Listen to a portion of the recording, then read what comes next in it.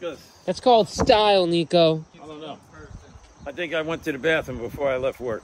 TMI. Let's get back to this thing now. Watch out, Joe's coming. No, you didn't say, you didn't yell this time. He's 91 years old. He almost hit me.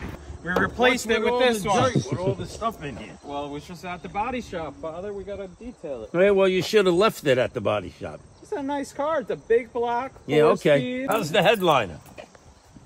Headline is Oh, not bad, not bad. Little saggy. just like your boobies. Nico. 454 or 396? 396. This a bad boy. Hope you didn't pay much for this. This car is gonna be in the high 20s. Yeah. Okay. It's an Impala. Who's buying it? Stevie Wonder? Stevie Wonder's got some money. Yeah, but he's also blind. Those are the type of people we need to buy our cars since we can't sell shit, Father. Stevie Wonder's Impala.